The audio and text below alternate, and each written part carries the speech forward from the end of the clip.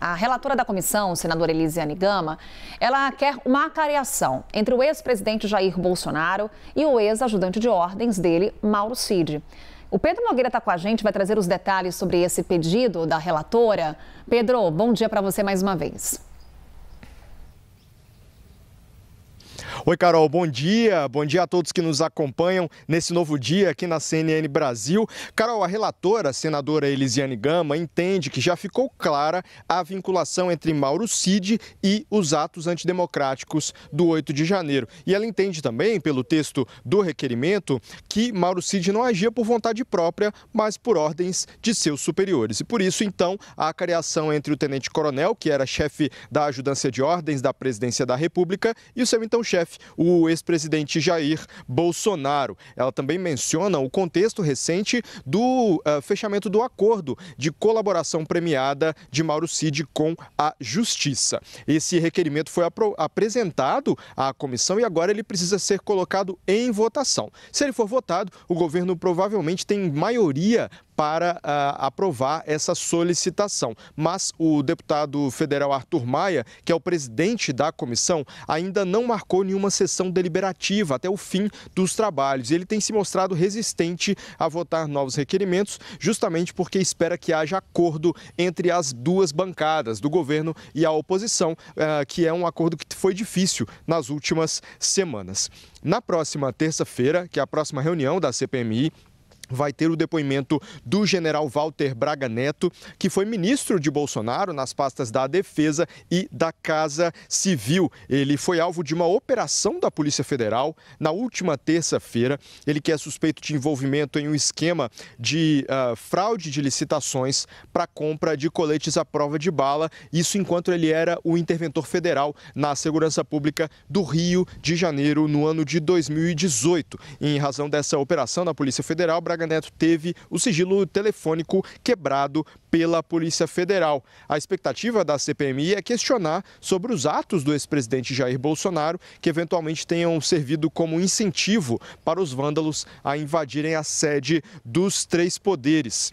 Então, a, a mesa também ainda sobre os trabalhos da CPMI, a mesa diretora já descartou a possibilidade de prorrogar os trabalhos da comissão. Lembrando que há pouco menos de. Uh, há espaço para pouco menos de sete depoimentos daqui até o mês de outubro, que é quando devem ser concluídas, uh, deve ser concluída a fase de depoimentos. Carol.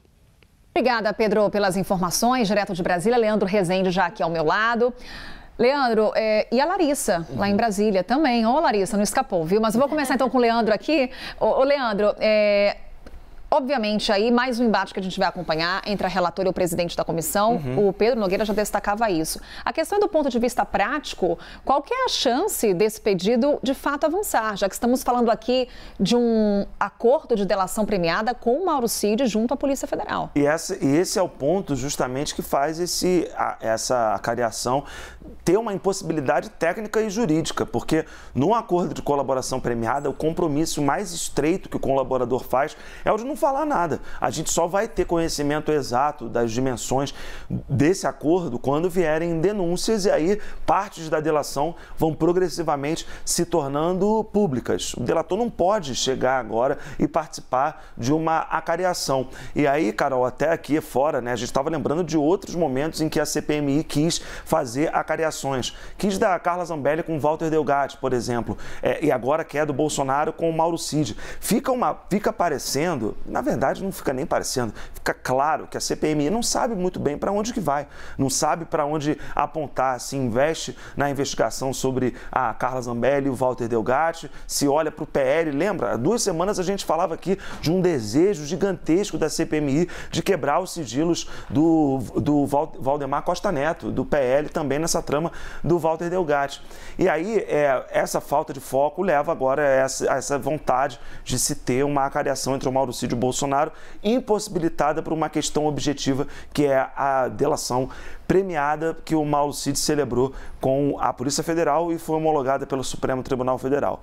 Para além disso, Carol, me parece né, que a CPMI tem, é, nesse ponto, uma possibilidade de abrir um precedente perigoso. E é algo que a oposição sempre conversa comigo nesse sentido. O PL sempre fala isso, porque a CPMI hoje está investigando o Bolsonaro, está mirando o Bolsonaro, um ex-presidente da República. Uma outra comissão parlamentar de inquérito no futuro pode mirar um outro presidente. Então, você trazer um ex-presidente, que por mais que seja multi-investigado, para um cenário desse, para uma acariação, é um desgaste político muito grande, mas que abre-se um risco para o futuro. O PL tem feito essas ponderações, tem feito essas ponderações ao presidente do colegiado, deputado Arthur Maia, que tem concordado com elas até aqui, Carol.